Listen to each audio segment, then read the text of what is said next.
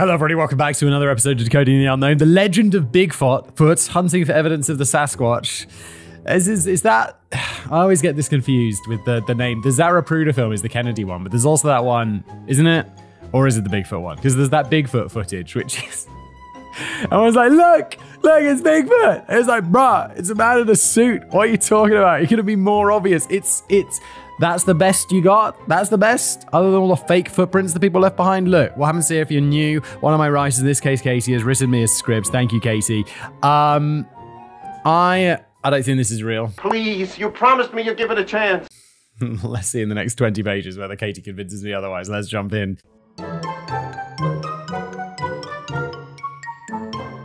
Ahoy, mateys, Sasquatch hunters, Whistler and Watson reporting for duty. Yes, that's Katie Watson, by the way. Also, the last person in the class to be called. Today, we will be attempting to track down the mysterious Bigfoot, investigating reports, providing alternative theories, and taking a deep dive into the most famous Bigfoot footage of all time. Is the man in the suit, isn't it? It's clear. And I swear to God, wasn't there a dude who came out later and was like, bro, it was me. I was the guy in the suit. And everyone was like, no, you weren't. and it was like it was him, and there was like the guy who filmed it, or whatever, admitted that it was fake or something like that. Look, I don't want to spoil the story. Let's carry on. Sorry, sorry. With proponents and critics on either side of this cryptid's case, on what side of the line do you stomp your presumably not fake foot? Katie, that's a bit discriminatory to all the people that have like you know blades for legs or whatever. I guess they're not really fake blades, but they're not feet, are they? Come on, Katie. Let's be a bit more PC. What about the people with blades? Like that that dude, Pistorius who I don't want to say because I haven't done the casual criminalist yet, but we've got a casual criminalist him coming up. Did he go to prison for murder? Or at least manslaughter or something, right? and he had bladed legs.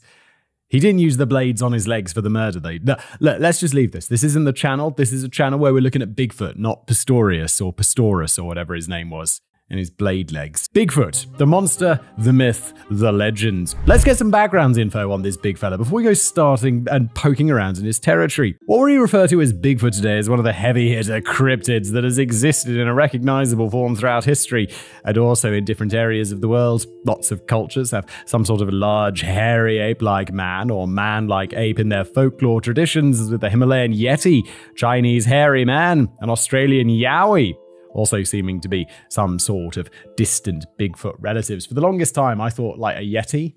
You guys ever played that game Ski Free? It was like back on like I don't know Windows 3.1 or whatever it was back in the day. It was like one of those games that comes bundled with it, like Minesweeper or whatever. And you're skiing this dude down a mountain. It's like this little pixelated dude, whoosh, whoosh, whoosh. and then uh, once you like get you you avoid crashing into trees and all that stuff. And then at the bottom, like so the game doesn't like go on forever uh, a Yeti runs out of the corner and eats you. And to me, I can't remember if it was actually a robot or if it looked like a robot. Um, but it was that I think it was a Yeti. I think that was actually lore of the game was that it was a it was a Yeti. And for the longest time, I thought a Yeti was a robot. Like, I mean, not as an adult or like even an older child, but as a child, thought for the longest time that Yeti meant robot, like some sort of monstrous robot that eats skiers. Today's subject hails from North America with another name for it being Sasquatch. It might be that technically the being known as Sasquatch and what is now called Bigfoot are two different things, but for all intents and purposes, as they both refer to large, hairy, bipedal beings, we'll use the terms interchangeably, mainly because Sasquatch is often shortened to Squatch. Uh, which I found funny, and will likely pepper liberally throughout this script. You might also be wondering where the word Sasquatch comes from in the first place. Oh my god, I was wondering exactly that, Katie. You're reading my mind. Oh, because I care. You've hurt my feelings very much indeed. Sorry. Why so cynical, Simon? Why do you have to be such a dick? Well, it's apparently an anglicized version of Saskets, meaning something like hairy man, in the language of the Stahales people from the Sovereign Coast Salish First Nation. This is an area of British Columbia in Canada, and they're still leaning heavily into this today, with their website logo being a stylized version of something that is presumably a Sasquatch. The version of the cryptid has supernatural abilities, including the power to shapeshift. That sounds real, and is generally as, uh, as seen as a peaceful protector of the forest. British Columbia makes up part of the Pacific Northwest, an area that is the traditional hive of Squatch activity and also includes the US states of Washington, Oregon, and Idaho. I know about this place because I watched that TV show. Um, what's it called? Where they drop those people alone? oh, it's called Alone. They drop them on like it's in Canada or America. It's like in that like northwesty part where it's like cold and Canadian and stuff. And they drop them there and they're like, all right, then have fun. And they just got to survive in the woods. And then they have to, why am I describing this TV show? It's quite a laugh in a kind of like horrible way because it does seem really miserable. And I'm like, oh my God, I'm, I'm, I'm just watching that show and it's like, wow. Like, I, know, I, I, imagine most people watch the show and they're like, wow, it'd be nice to get into nature. And I was like, oh my God, I'm glad I'm inside eating a pizza that I didn't make. You know, it just makes me appreciate that. While large, hairy humanoid figures have been captured in tribal artworks and oral histories for centuries, it wasn't until the 1950s that Bigfoot as we know him really hit the scene. In 1958, a company was chopping down trees in the Six Rivers National Forest in northwestern California when one of their number, Jerry Crew, noticed some truly massive and deep footprints in the mud. It came out that other men had also noticed large prints recently, and they theorized that whatever had made the prints may also have been responsible for the hitherto unexplained movings of a massive oil drum and a very large vehicle construction tire. Dude, if you're like out in the woods chopping down trees and you see a massive ass footprint, uh, you mentioned it to the guys. Oh yeah, I saw those too, Jim. And it's like, well, why you mention it?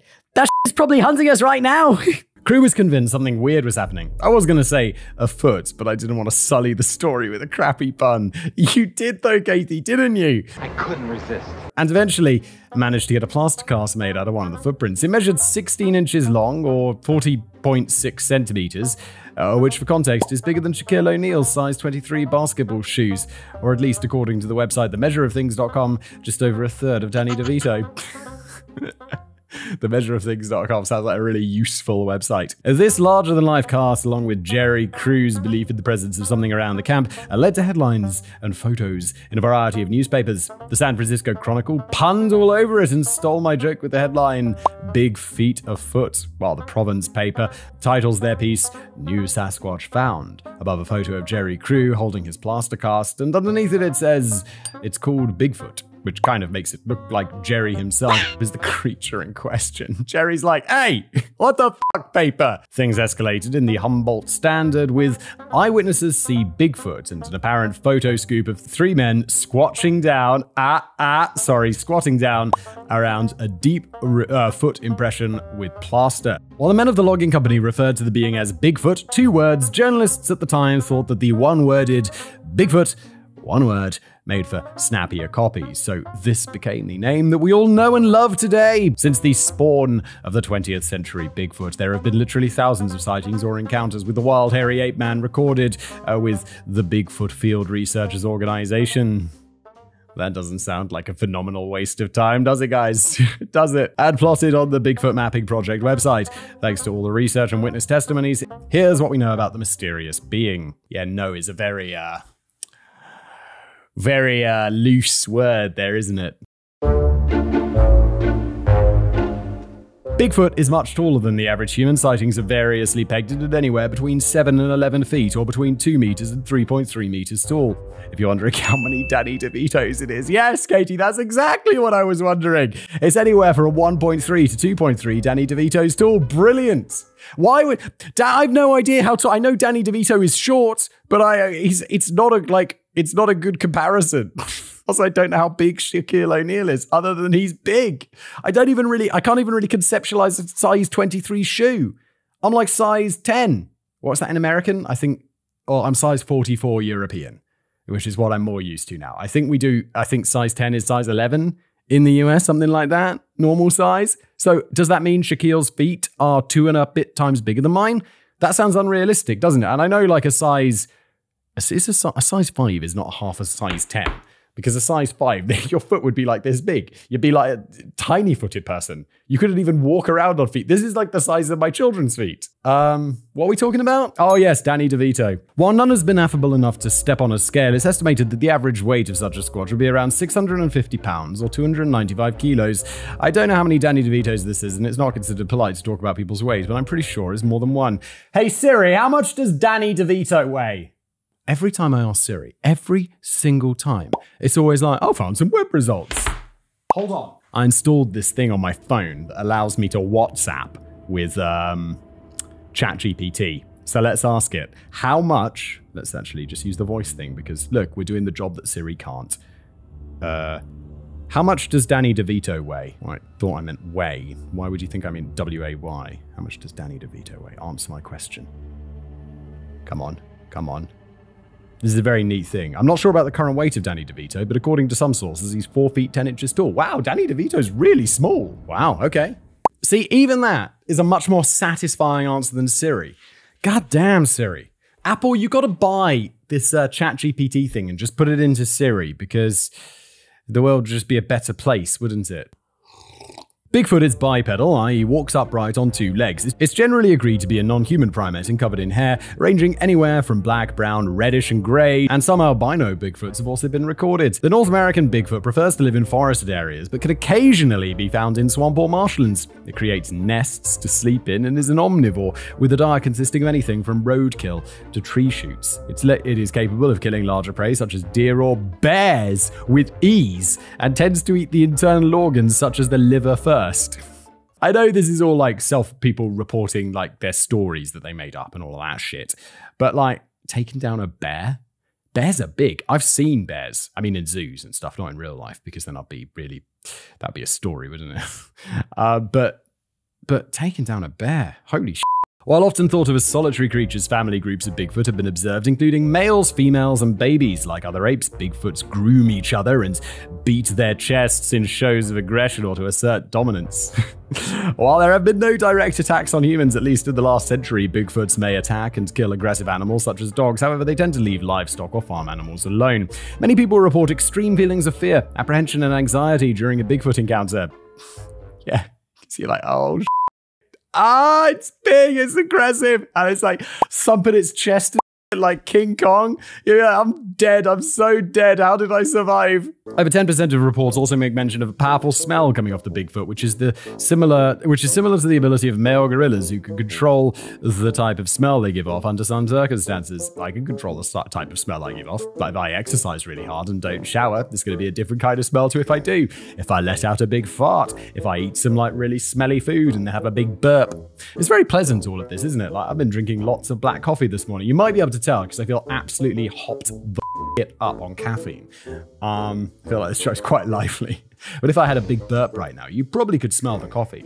Like I had, went to the dentist yesterday, and my new dentist is by my office rather than by my home. And normally I brush my teeth before going to the dentist, like a good human being. But I didn't have a toothbrush at work, and I had like Asian food for lunch. And so I was like trying to drink water and get the smell out of my mouth because I don't want to be that person who goes to the dentist with a stinky mouth because I'm sure the dentist doesn't like it. And I'm just like there, just like trying to breathe through my nose as much as possible because I'm self-conscious about it for some reason. It's a dentist. This is your job. I'm sure. Like my teeth are nice. They're all like you know clean and white. I brush them twice a day. I use those bloody interdental toothbrush brushes, which sometimes make me bleed and are a nightmare. I do the dental hygiene. So I, am sure the person who goes in next is like has like four teeth, and the rest is just gums with infection, and so that's that's going to be more unpleasant, right, than like slight Asian breath. Not like Asian. That sounds weird. That sounds slightly racist, doesn't it?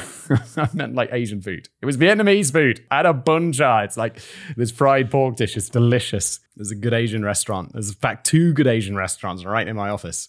He's gone, hasn't he? Oh my god, what are we talking about? I'm sorry. I've had way too much coffee. I really have. I'm really sorry. Bigfoots are known for their strength, easily tossing large rocks at intruders, uprooting small trees, and messing with large and heavy items in places like construction or logging sites. At night, they are known to shake trees, snap twigs and branches, and make knocking noises on logs or trees. It's not known whether this is to communicate with other Bigfoots or to freak out the poor campers huddled in the flimsy tents. Even more creepily, they are capable of a wide range of vocalizations, anywhere from whistling to deep growls and roars to piercing screams.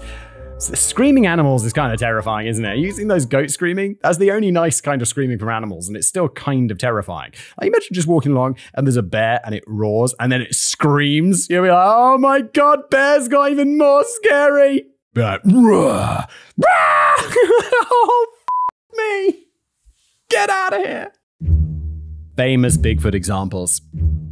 Okay, now we know about the big fella. Let's take a look at some of the more famous examples of sightings. We've already mentioned Jerry Crew's OG experience. Let's fast forward to the more widely recognized and possibly only Bigfoot footage of all time. The Patterson film, the Patterson Gimlin film. It's not the Zapruder film, that is the Kennedy one. Uh, of 1967, around the same period though. You've probably seen the footage, a clip of it, a screenshot, or at least some sort of meme about it. The whole thing is just under a minute long and allegedly shows a female Bigfoot walking away from Roger Patterson, looking back a few times uh, before walking into the forest. Roger Patterson and his friend Bob Gimlin had been actively seeking out Bigfoots after Patterson had become interested in them several years earlier. They headed to Bluff Creek in the Six Rivers National Forest in Northern California, as there had been recent sightings and Patterson had visited the area before. This was also the same forest where Jerry Crew discovered large footprints some nine years prior. Riding along the creek bank on horseback, Patterson and Gimlin all of a sudden came across a large bipedal creature on the other side of the creek, or crick if you watch an interview with Gimlin.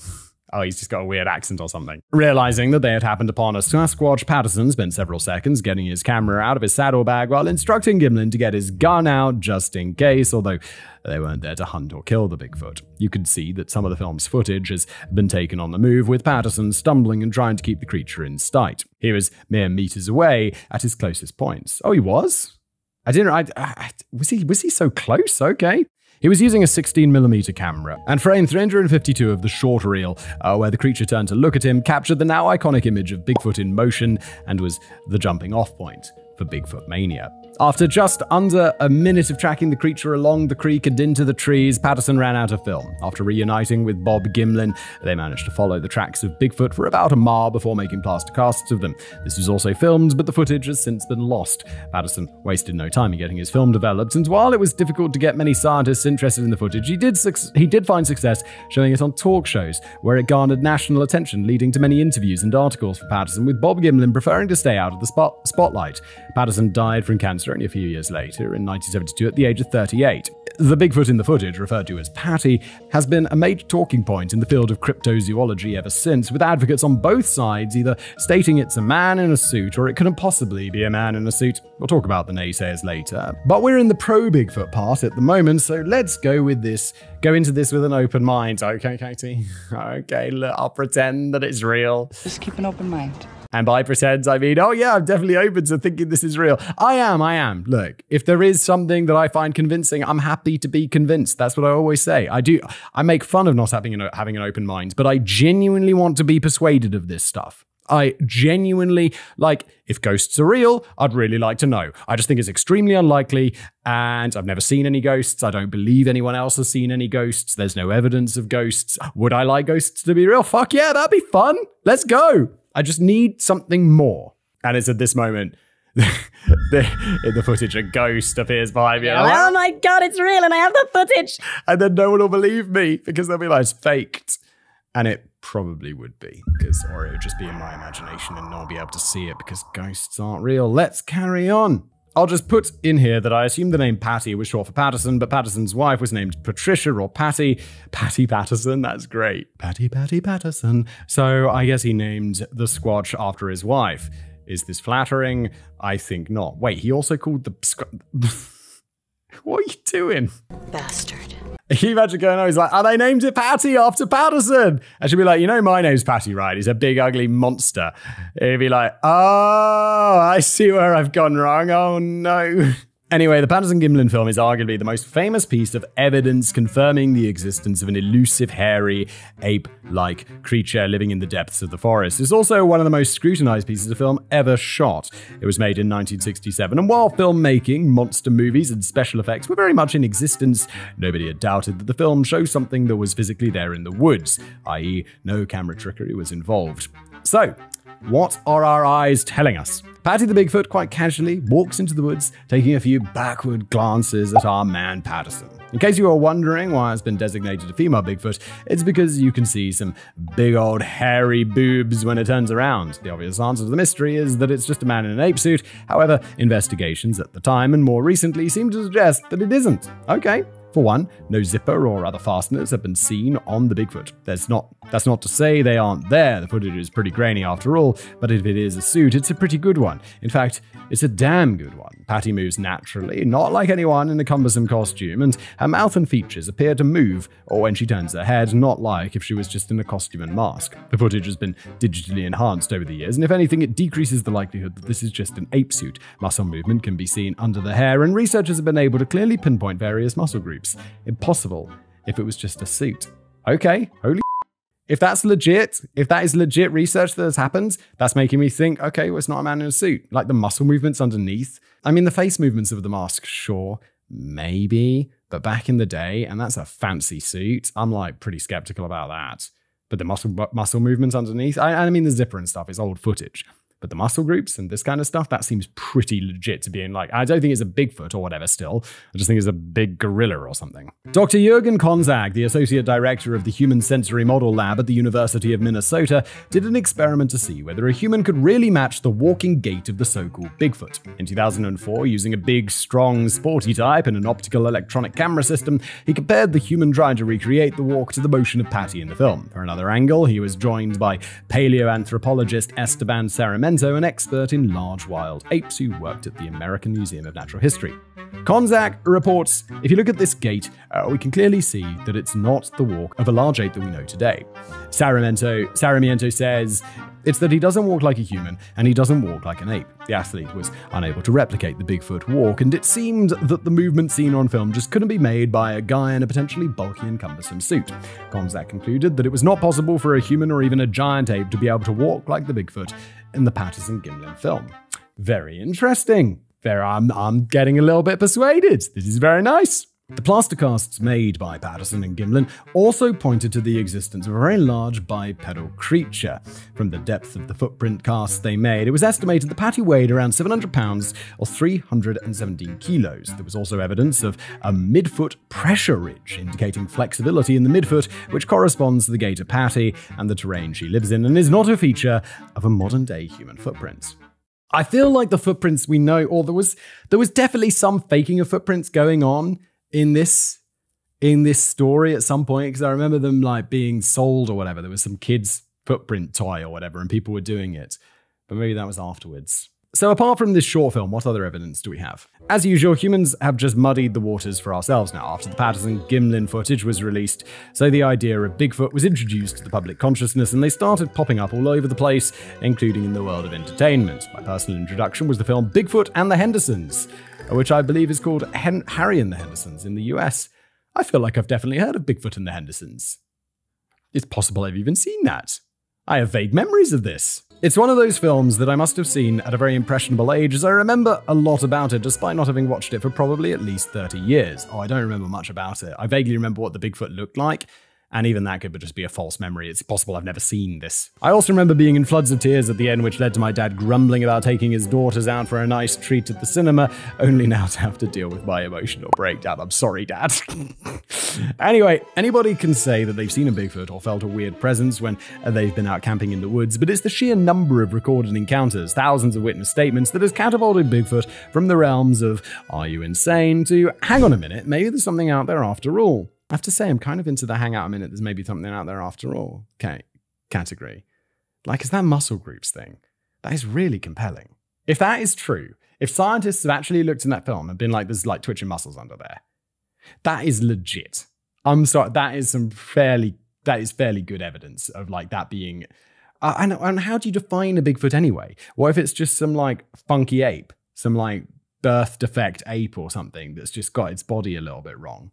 Something like that. But then why is it in the, the forest? And where are the rest of them? Where, where did it come from?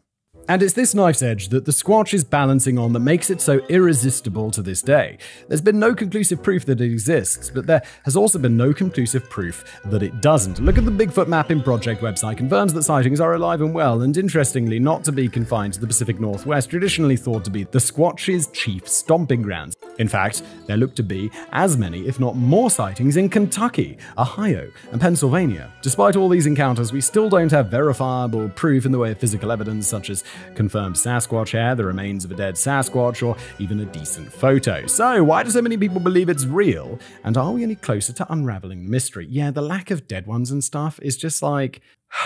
It's I, I, want the muscle group thing to be explained because that's the only thing I'm getting hung up on so far. Everything else, like the way it walks and shit, I'm like, okay, so a dude did one study with one dude. That's not good enough. But the scientist looking at the muscle twitching, that is sticking up to me as needs explanation.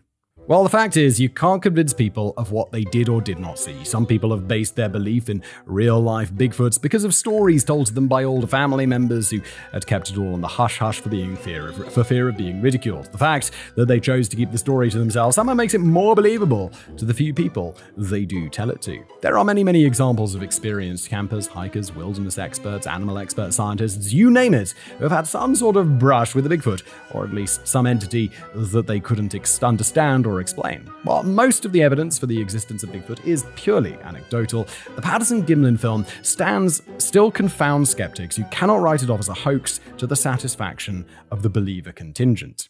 Yeah, not surprised. The muscle thing. And I know I keep bringing it up, but that's the thing.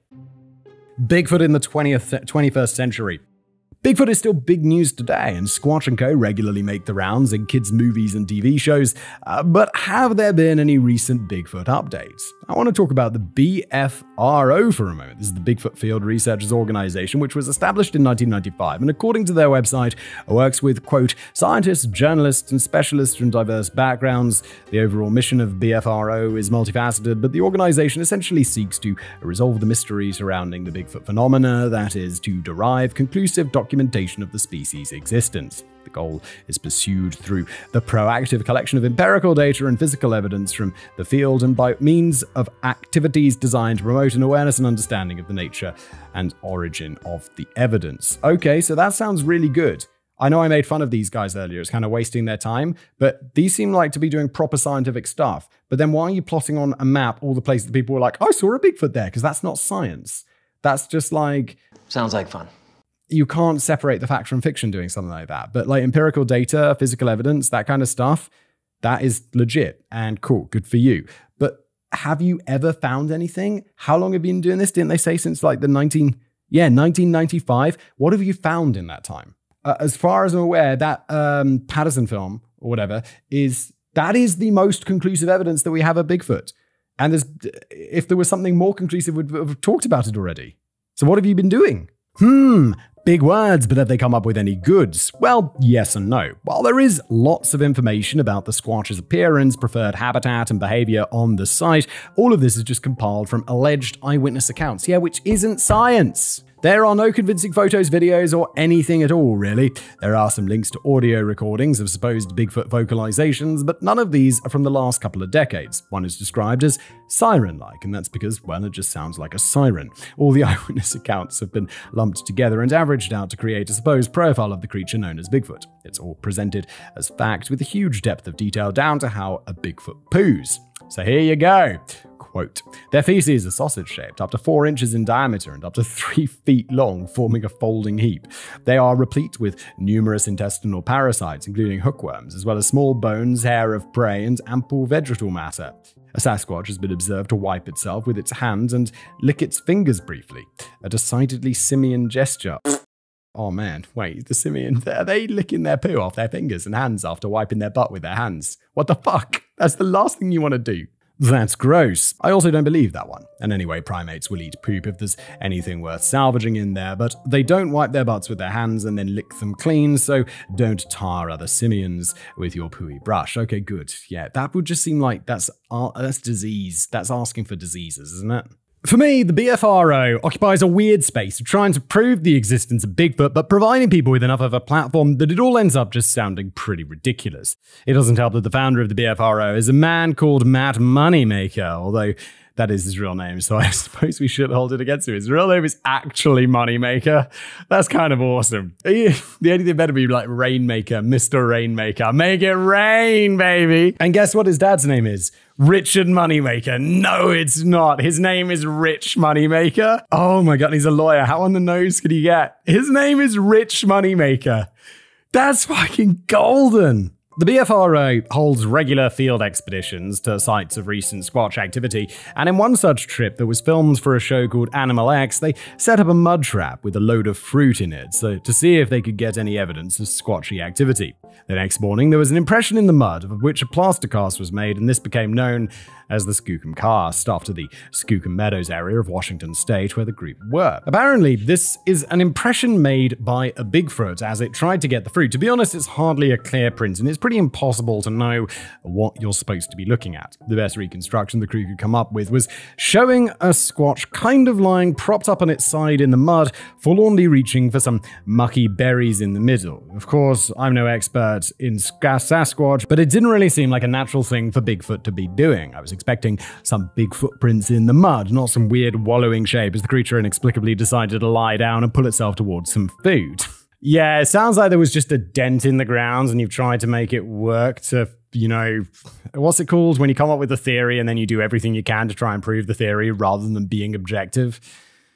I don't know, but it sounds like that's what's going on here. Was any Bigfoot hair found? No. Were any large footprints found, or a three foot long heaped poo? No. Could this imprint have been made by, say, another animal, such as an elk, as they were known to create similar shapes while lying down? Well, yes, that's a yes.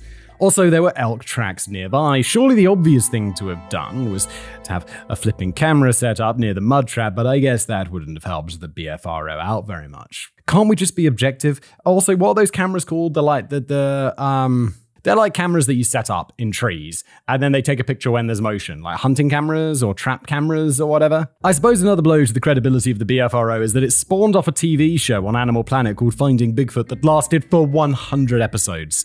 The money spinning, like whoever Mr. Money Spinner at uh, Animal Planet is, is just crazy. Like, the fact that you can spin this out for so long, or like that, uh, the the mystery of Oak Island treasure or whatever that History Channel's been doing for like 400 seasons or whatever. It's just how can you spin something out that long? I was reading about that. I think I stumbled across that on Reddit the other day. Someone talking about Oak Island as being like a mystery or whatever, and how they kept digging down in that hole and finding things. And I'm just reading that being like, no, no, no, no, no, no, no. You just watched the History Channel thing and you thought it was real. And the comment below is like, yeah, this is obviously fake. Um, it's just made up. Blah blah blah. And I'm like legend. And I'm pretty sure that second one had more upvotes. It's just like, good, good. Don't believe everything you see on the History Channel, but believe everything you see on any of my channels. Everything. Never, never question me.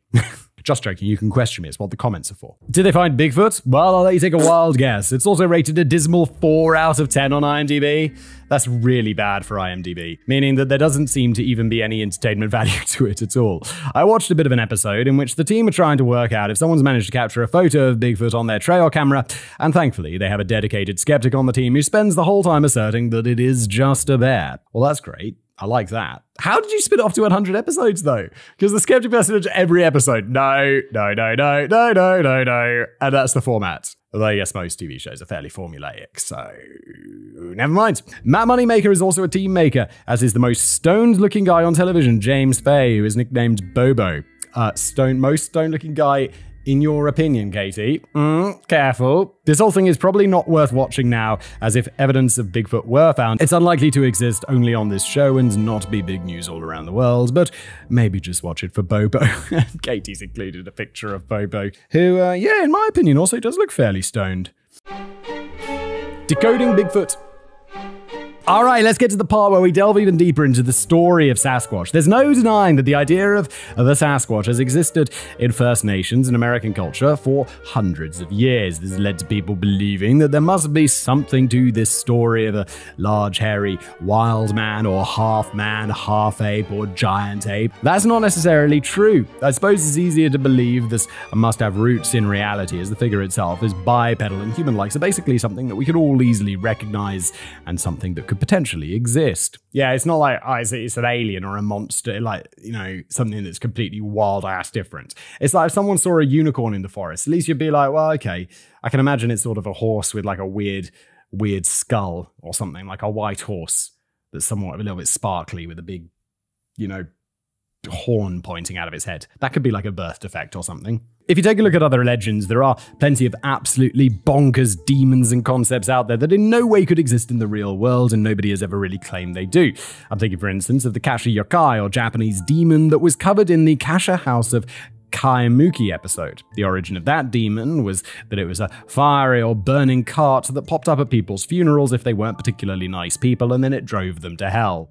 Yeah, that's not something that I would ever question. Like in the episodes, like obviously fake, obviously fake, obviously fake. Whereas this one with the muscle thing, I'm like, well, it's not obviously fake, is it? I don't think there's enough evidence to say that it's real, but it's not obviously fake like a fiery chariot that drives people to hell. Nobody's suggesting they've ever seen this happening or it was a real thing, so why should we believe in Bigfoot just because it's presented as something a bit more familiar? Well, well, partly because things that are more familiar and close to reality are more likely to be reality. I'm going to go back to our examples of pro Bigfoot evidence now and see what the whole story was. Yes, this may be seen as spoiling the fun, and some people complain that stories are ruined when oh, we actually investigate a bit further, but hello, this is Decoding the Unknown. The clue is in the name. We need to look at both sides of this hairy coin. Although in reality, this is a hairy coin that just keeps spinning, as no matter how much debunking is done, the debunking is then apparently debunked, etc., etc., etc. Yeah, maybe this, like sometimes I see people like reacting to my videos and stuff. They'll be like, you know, they watch it and they react to it. Sometimes it's entertaining, sometimes it's a bit boring. Um, but this won't be good. I'd like to see some, you know, person who really believes in this being like, yeah, Simon, you thought about this? Although I'm quite on the fence about this, to be honest. I mean, if you were reacting to like the the the burning chariot of fire one or whatever, it'd be like, well, actually, the burning chariot of fire is real. Please, come on, come on, come on. Don't be silly. The origin of the name Bigfoot came from media reports of the footprints found by Jerry Crew and chums around the site of their logging operation. How do we account for these massive, one third of Danny DeVito sized prints? Well, if you go straight to the debunking without passing go, these prints were nothing more than a not particularly sophisticated prank carried out by a guy on the same team using a wooden foot imprint. Ray Wallace allegedly made a deathbed confession in 2002 admitting to the prank, although it wasn't exactly a secret to his family and friends. He was well known as a prankster, and in 1958 apparently decided that time was right for North America to have its own version of the Yeti, or to at least increase the interest in it. kind of a legend, to be honest. It's like, yeah, it's, it's a good prank. It's pretty funny. Some people thought that there was no way it could have just been a man with a wooden footprint, as there were supposedly not enough time for people to do this sort of malarkey with all the work that they had to do. But come on, how long does it take to press a foot on a pole and into how? But come on, how long does it take to press a foot on a pole into some mud? Not very long. And also, have you not heard of procrastination? People are saying this is like, yeah, yeah, we should be logging, but we just fucked around for a little bit, like everybody with any job ever. Not very long, and the other large, heavy things that apparently were mysteriously moved around the camp might have been moved by machinery without other people's knowledge. They might have been on unstable ground and slid over, or maybe it was just a made up fact to get their name in the local paper. The BFRO have decided that Wallace did not, in fact, make this confession. I found an article in the Los Angeles Times from Times from December the 6th, 2002, where Wallace's son Michael confirmed that his dad had been behind the mysterious footprints. Okay, the BFRO were correct in that Wallace didn't exactly make a deathbed confession, but apparently he polled his family as he knew his health was failing, and they all voted for not holding onto the secret. As previously mentioned, it wasn't like he was the only one who knew the whole time. This seems to be a weird thing for a random person to say to a paper 44 years after the event, unless they were actually involved in some way. And it's not like this example has ever been as remotely famous as the Patterson Gimlin film, so I doubt Michael Wallace was cashing in much on that hairy coin. Yeah, he's just a prankster, and then it got out of control, and he's like, cool, just, you know, last fun thing before I die. It was me. And people would be like, no, it wasn't. Still real. Still real. I believe it. BFRO, we built a career around this. Mr. Money Spinner and I. Money Spinner at Animal Planet. It's a joke. Other naysayers of this explanation have said that the alleged foot stomper Ray Wallace did not match the plaster cast taken by Jerry Crew. To that I say, whatever. The ground was muddy, Wallace probably didn't plant it down exactly level each time, and maybe the cast wasn't taken very well. I also have trouble finding verifiable pictures of what the fake feet looked like. The one on the BFRO site looks very different to the one on the site called BigfootEncounters.com, so maybe Wallace had multiple versions, or maybe these debunks of the debunk are just wrong. To be honest, I believe that this incident was a hoax, as why would you bother confessing to something like this just before you die? You wouldn't get any credit or attention for it as you'd be dead, and credit and attention is what people who make false confessions are after. Pretending that your dad perpetrated a long forgotten hoax is hardly going to do much to increase your profile in the 21st century, so personally, I think Wallace and possibly other people in his work team were all just having a laugh, and I completely, fully agree with you, Katie. There's very little doubt in my mind on that one. Now let's get into the nitty gritty of the Patterson Gimlin film. Excellent. Although Katie writes sigh, so I get the feeling that it's going to be debunked. Which will be good, because the muscle thing isn't explained yet, and I'd like to know what the explanation is, please. Okay, this is going to take a while. Every point can be met with a counter by die-hard believers, so let's just go for it. First off, the original film has disappeared and only copies remain. This means that we can't say for sure when it was filmed and if there was any other footage before the main event that might give us a bit more of an idea of, it of its authenticity. And perhaps the timeline around the making of the film, rather than the footage itself, is what could prove to be its undoing. Interesting. Let me explain. Patterson and Gimlin were trekking through the forest on horseback on the afternoon of October the 20th, 1967. Patterson stated that they chanced upon the Bigfoot somewhere between 1.15 and 1.40 p.m. Any timestamps that could be found on the original film have of course been lost. After the close encounter, which could only have lasted a couple of minutes, both men had to round up their horses, which had been spooked at the presence of Bigfoot, and run off. They spent some time trying to track down Patty through the forest for anywhere between one and three miles. During this time, Patterson filmed some of the footprints that had been found, but the film has also been lost. After losing sight of any more tracks, they headed back to their campsite, which was three miles or 4.8 kilometers away. They picked up some plaster to make casts with and went the three miles or 4.8 kilometers back to the footprints, made the casts, waited for said casts to dry, went the three miles or 4.8k back to the camp again, packed everything up into the trailer, including the horses, and drove to Willow Creek to mail the film off. The film was mailed at about 6:30 p.m. Does it sound likely that all of this could have been done in 5 hours? Uh, I know the answer is supposed to be no, but they were on horses. 3 miles is not that far on a horse, and plaster doesn't take that long to set. So I have to say the answer could be yes. I think not unreasonable. It was quick, but it doesn't sound crazy. I should also mention that from their camp to Willow Creek was about 24 miles or 40 kilometers, men, most along dirt tracks and fire roads. Okay, that's going to take forever. Because, like, 24 miles at what, 60, 60 miles an hour is 24 minutes, which that is not short. But doing it on the track is going to take five times longer. So let's just say it's an hour and a half, two hours maybe. Let's just say two hours. So they did all the stuff in three hours. Now that's sounding a bit more ridiculous. So yeah, once you start looking at it like that, the whole thing seems to be getting more and more unlikely. It didn't help matters that Patterson changed his story a few times, even saying that the film was flown to Yakima on a charter plane to be developed, oh, and it was later proven that no charter planes flew that day because of bad weather. Uh oh, why you lying? A plane seems like a pretty big thing to suddenly remember, and in fact, it is this dubious timeline coupled with Patterson's shifting story that convinces me that the footage is just a hoax rather than going into the nitty gritty of the actual Bigfoot you see. Speaking of which, let's get into the nitty gritty of the actual Bigfoot you see. Old Patty swinging her arms and boobs around like nobody's business, ambling off between the trees and into infamy. Uh, there are two possibilities here. Number one, it's a real Bigfoot. Number two, it's a man wearing a costume. Which of these is most likely? I'll say that having watched rather more videos than I wanted to about this, I was starting to think maybe there was something to this Bigfoot thing. The footage has been enhanced over the years, and while the original was quite grainy, it's possible to see muscles moving under the fur, worn patches, a moving face, details that a hoaxer throwing a fake movie together in the 1960s wouldn't have time or resources to create. But is it really possible to see that? Australian Wayne Dowsent made a video showing the 4K version of the film, pointing out that Patty the Bigfoot moves and saying things like, Go on, Simon, try an Aussie accent here to be authentic. The muscles move and quiver. That's not that that's Australian. This is Australian. I mean it's not a good one, but it isn't it is it is probably recognizable as Australian. I know all the Australians are super upset. The muscles move and quiver as they act like shock absorbers. The muscles move and quiver as they act like shock absorbers. But for the life of me, I can't see what he's talking about. The footage is clearer, and this does actually make it look more like an actual creature than a suited up guy, but I can't really see all this detail that he and others have pointed out. Dowsent also points out how similar the head is compared to real ape.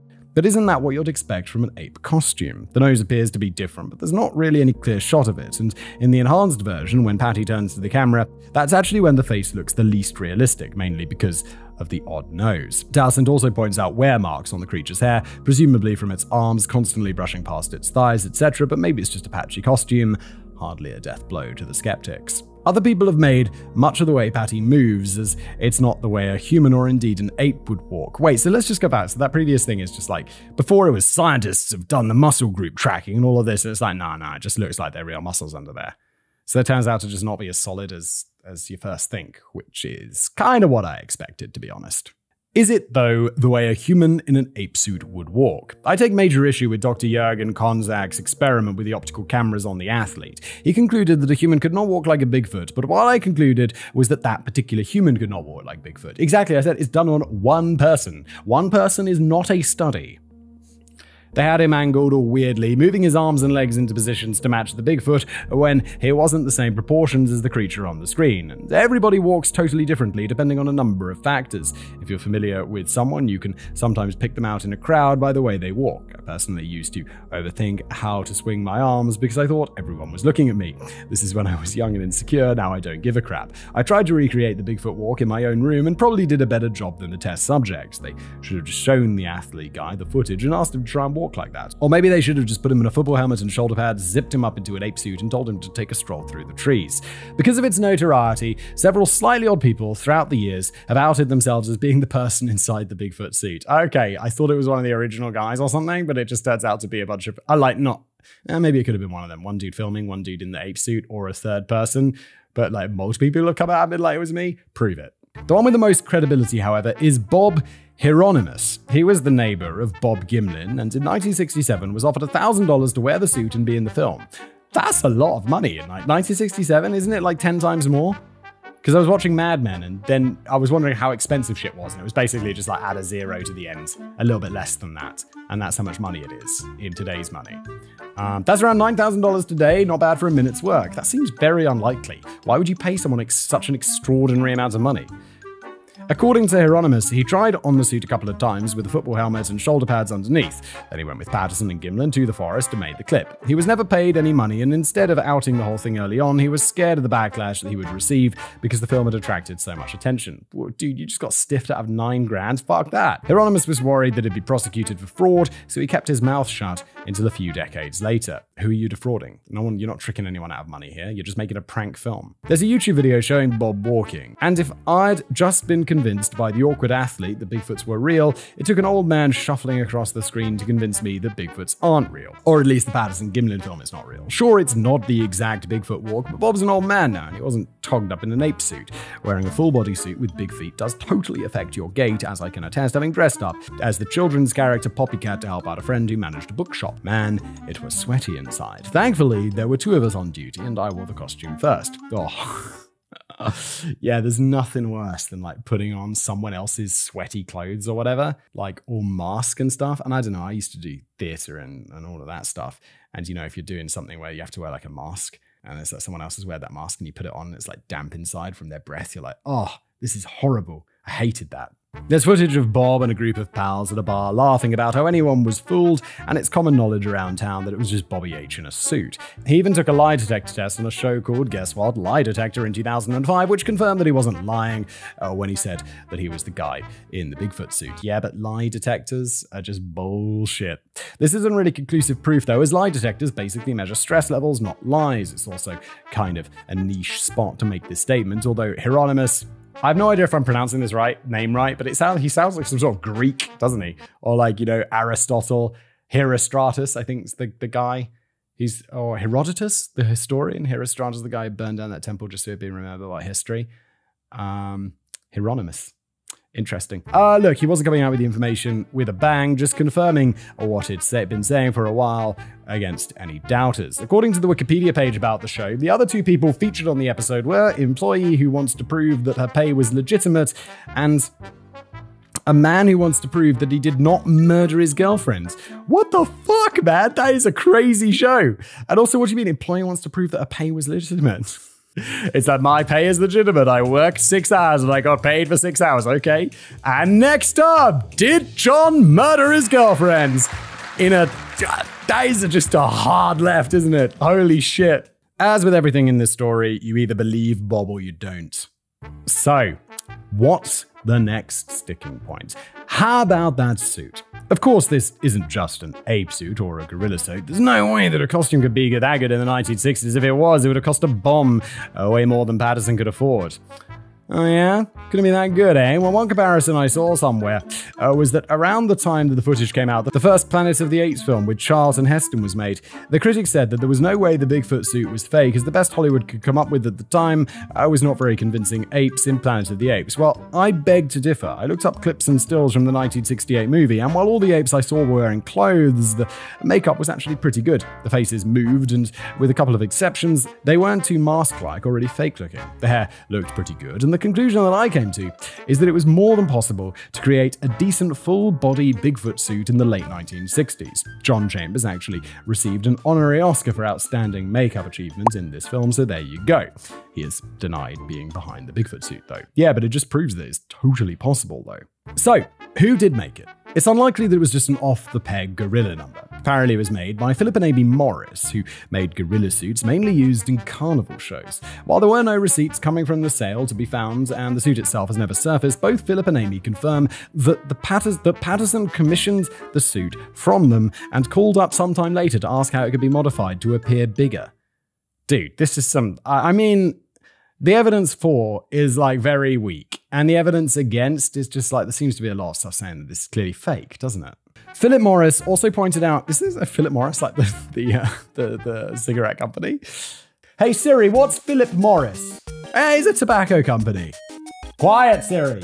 Pipe down. That's quite enough. No. Not your slave. Philip Morris also pointed out how wearing the suit could alter a person's walking gait and that the suit wasn't designed to be particularly flexible, hence Patty the Bigfoot having to turn her entire upper body to look behind her. I also found a photograph on BBC website showing members of the Sts'ailes tribe during a Sasquatch festival, and someone's wearing a Sasquatch suit, and I don't know whether it came from real animal hide. I pres- presume it did, but it looks pretty good quality costume, and that's from 1938. Yeah, the idea that it wasn't possible to make a good costume is just silly. There were great costumes. Chill. So, could the most famous footage be just a man in a suit? I think it's definitely possible, if not probable. Uh, I'll I'll round out this section by saying that Patton himself was something of a tricky customer. He got financing from a film company called American National Enterprises to make a fake Bigfoot documentary, mainly based on a tiny tome he had self published called Do Abominable Snowmen of America Really Exist? Patterson used the money to buy the ape suit and rent the camera that he used for the encounter. After getting the film developed and selling the clip himself, he cut ties with American National Enterprises, who didn't get anything out of the relationship. Can't they sue him for the original money at least? Like, you should give that original money back. You just completely abandoned it, dude. Patterson was also arrested for keeping the camera longer than the rental period. Arrested? Holy shit. I should return my library books. Please open up. Although he eventually gave it back in one piece and the charges were dropped. Yes, Patterson did end up raking in the money. Although there were lawsuits further down the line, his wife ended up with 100% of the TV rights and 49% of the rights to the film footage. All, along with his brother in law, it helped Patterson out financially before. It's estimated they made about $200,000 off the footage in the first year alone in 1960s money. Holy shit. They made, oh, uh, oh there's a figure here, and that's $1.7 million today. But even if that was adjusted for inflation, that but even if that wasn't adjusted for inflation, it's not bad. Holy shit, they made some bank. God damn. Patterson may have also known he was dying. He had Hodgkin's lymphoma, so it's not totally out of the question that he just had one last hurrah and struck gold with the escapade. Or it could be that as a Bigfoot fanboy, he miraculously did what no one had convincingly done before or since and actually had an encounter with the real creature that he managed to capture on film. Maybe you're not convinced that Bigfoot is a hoax, but you think there might be something setting off all of these reports. Well, a lot of so called Bigfoot encounters can be explained as encounters with other normal and boring animals like bears. Bears can stand on their hind legs and, and walk around if they want to, and some of them are really big, making them an easy target for Bigfoot misidentification. Also, a lot of reported encounters happen at night in the woods, so people tend to stay inside their tents and not go poking around outside, i.e., they don't see anything useful. Yeah, if I hear like crazy sounds when you're out camping. It's like I know that there's just a it's just a paper thin fabric between you and whatever monster is out there, but it's like I'm not going outside. I don't want to. I'm safe in here. It's definitely safe under the blankets.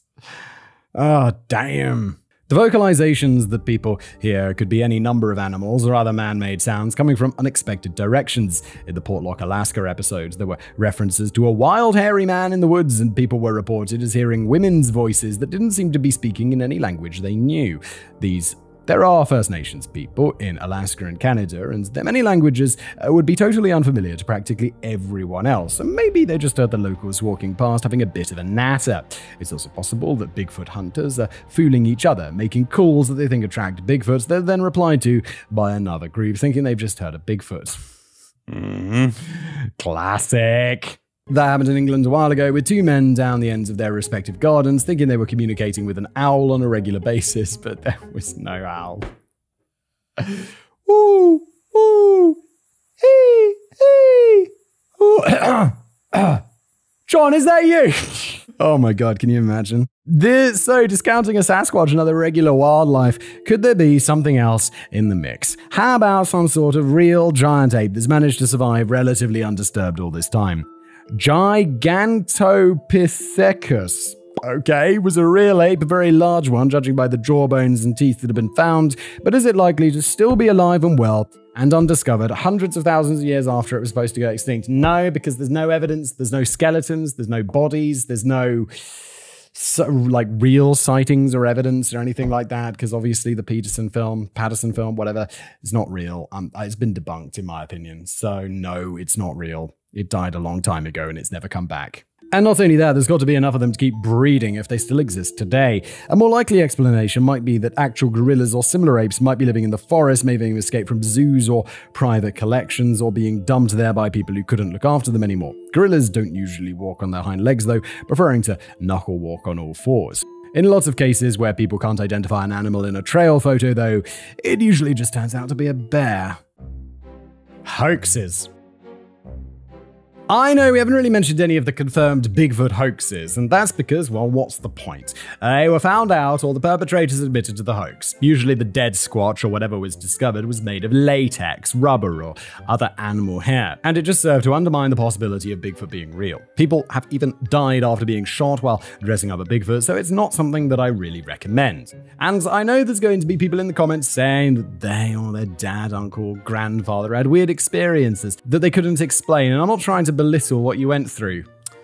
Um, yeah, but it doesn't make it real. I saw Father Christmas in my room as a young child, and it always struck me as strange that my parents wouldn't have bothered getting togged up and it always struck me as strange that my parents wouldn't have bothered getting togged up to put stuff in my stocking if I was already supposed to be asleep. Yet this image is in my mind, and while I've since been promoted to the role of Santa myself, I've never been able to fully believe that this is a false memory. And no, it wasn't some pervert that had broken in, at least I hope it wasn't, and I've actually been repressing something horrible the whole time. Jesus Christ, that got dark. I'm pretty sure he was just putting some presents in my stocking. Anyway, my point was that while you might truly believe that it was a Bigfoot encounter, chances are it wasn't. There have been thousands and thousands of sightings, and yet not a single decent picture has come out of it. I've seen various YouTube videos claiming to be proof of Bigfoots, but uh, that are either obviously fake or are really intriguing but then cut out at the crucial moments or are just plain weird.